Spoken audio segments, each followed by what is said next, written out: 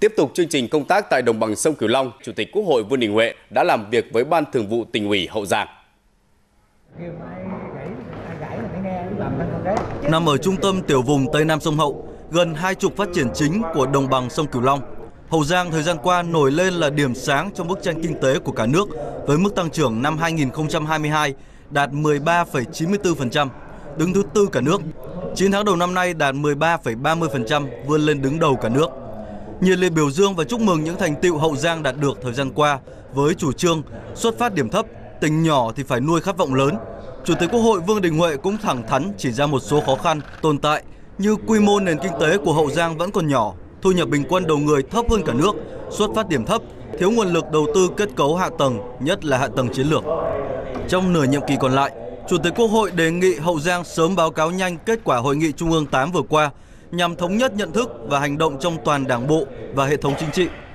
Đặc biệt, cần quyết liệt để khẩn trương hoàn thành việc trình phê duyệt quy hoạch tỉnh thời kỳ 2021-2030, tầm nhìn đến năm 2050, chủ động xây dựng kế hoạch để triển khai thực hiện hiệu quả, chất lượng.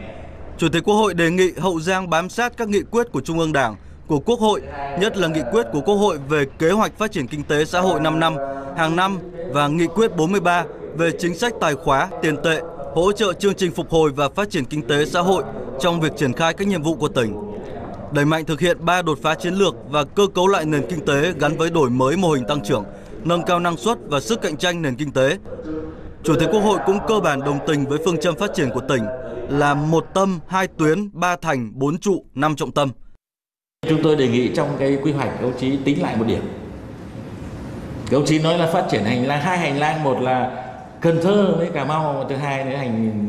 Nam sông Hậu này là tôi thấy nó chưa chính xác đâu.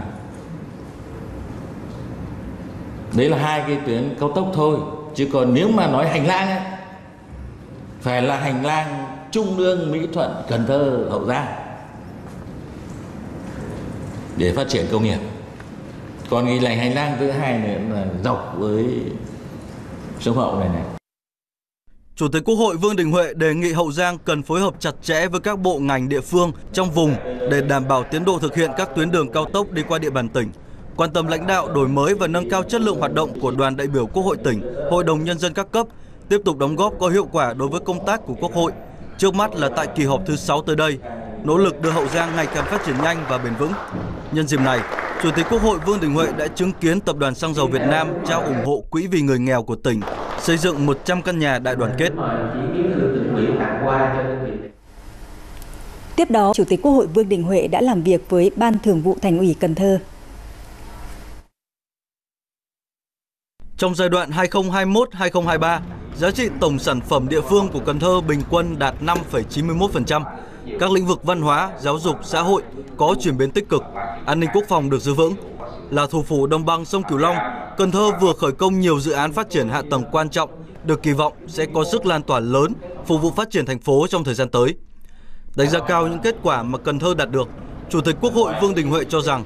vừa qua, năng lực sản xuất mới của địa phương chưa có đột phá, chưa có đủ sức lan tỏa từ địa phương được coi là đầu tàu của vùng như kỳ vọng. Quy mô kinh tế vẫn còn nhỏ, khu vực dịch vụ, du lịch chưa khai thác hết tiềm năng, lợi thế. Bên cạnh đó, kết quả thực hiện thí điểm một số cơ chế, chính sách đặc thù phát triển thành phố Cần Thơ theo nghị quyết 45 của Quốc hội vẫn còn khiêm tốn, chưa thực sự tạo được động lực phát triển đột phá cho thành phố. Để Cần Thơ vượt khó, bứt phá đạt được các mục tiêu đã đề ra, Chủ tịch Quốc hội Vương Đình Huệ đề nghị thành phố trong thời gian tới khẩn trương quán triệt các quan điểm, định hướng quan trọng của Hội nghị Trung ương 8 vừa qua để thống nhất nhận thức và hành động, đặc biệt phải chủ động giải quyết các điểm nghẽn đã được chỉ rõ trên tinh thần quyết liệt. Bên cạnh đó, Chủ tịch Quốc hội cũng đề nghị Cần Thơ phải làm tốt công tác quy hoạch. Trên cơ sở cái ờ, nghị quyết đại hội đảng này, nghị quyết 59 của Bộ Chính trị này, rồi nghị quyết 13 của vùng này, ở vùng đồng bằng này cũng của Bộ Chính trị này, nghị quyết 45 của của của của Quốc hội này, thì các ông chí phải làm cái việc mà phải làm ngay đó là sớm trình để chính phủ thủ tướng phê duyệt sớm nhất quy hoạch phát triển thành phố Cần Thơ cho đến giữa thế kỷ đến 30 đến ờ, 50. Chủ tịch Quốc hội Vương Đình Huệ lưu ý, thành phố cần bám sát các nghị quyết của Trung ương Đảng, của Quốc hội, quan tâm lãnh đạo đổi mới và nâng cao chất lượng hoạt động của đoàn đại biểu Quốc hội tỉnh, của Hội đồng Nhân dân các cấp, tiếp tục làm tốt công tác bảo tồn và phát huy giá trị di sản, xây dựng các sản phẩm du lịch đặc sắc, phát huy đặc trưng văn hóa sông nước vùng đồng bằng sông Cửu Long để nâng tầm điểm đến thành phố Cần Thơ trên bản đồ du lịch thế giới. Chủ tịch Quốc hội tin tưởng Cần Thơ sẽ phát huy vai trò hạt nhân phát triển của vùng, trở thành thành phố sinh thái, văn minh, hiện đại, mang đậm bản sắc văn hóa sông nước đồng bằng sông Cửu Long, một trong những trung tâm lớn của cả nước.